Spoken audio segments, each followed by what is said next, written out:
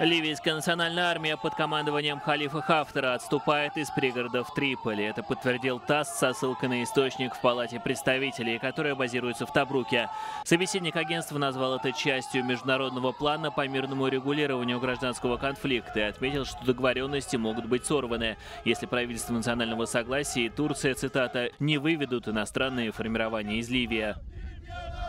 Боевые действия в стране активизировались на фоне пандемии. В мае поступали сообщения о масштабном и успешном наступлении сил правительства национального согласия при поддержке Турции.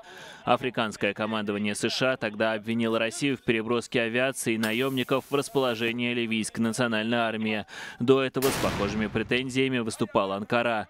Москва неоднократно отрицала участие в конфликте и называла данные о российских частных военных компаниях в регионе непроверенными или сфабрикованными.